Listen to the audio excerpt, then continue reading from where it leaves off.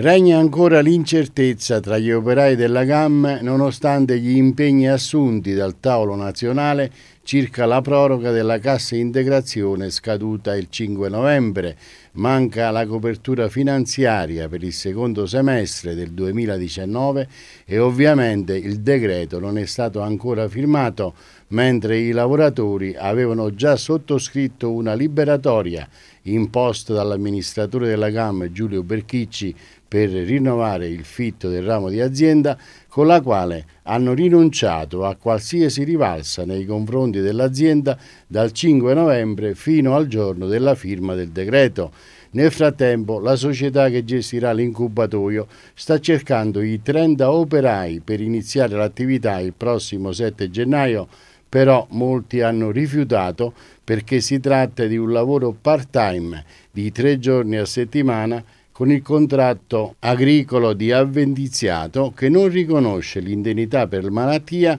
e per le giornate non lavorate è prevista una indennità di soli 10 euro al giorno. Dunque è stato difficile trovare 30 operai disponibili a lavorare in cambio di circa 500 euro al mese, tanto che l'azienda ha aperto la selezione anche agli esterni e alcuni ex avventizi della GAM, abbandonati da tutti, si sono candidati per disperazione. L'articolo 36 della Costituzione, fa notare qualche operaio, prevede che la retribuzione deve essere sufficiente ad assicurare un'esistenza libera e dignitosa. Invece, aggiungono, queste società che hanno rilevato la GAM seminano solo povertà in un territorio non a caso inserito in un'area di crisi complessa. Le preoccupazioni maggiori però sono rivolte alla ripresa dell'attività produttiva del macello per la quale Avicola Vicentina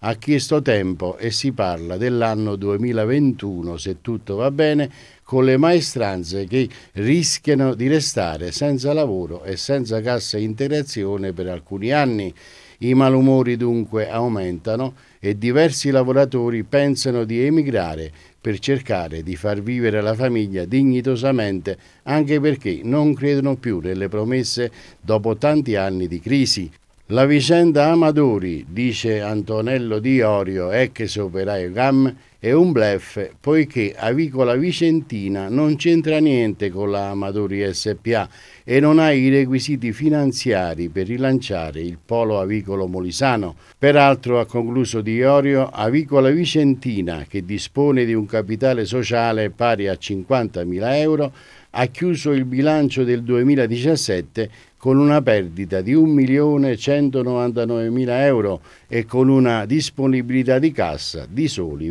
22.986 euro. Gli operai della GAM, sempre più esasperati, si riuniranno in assemblea lunedì prossimo.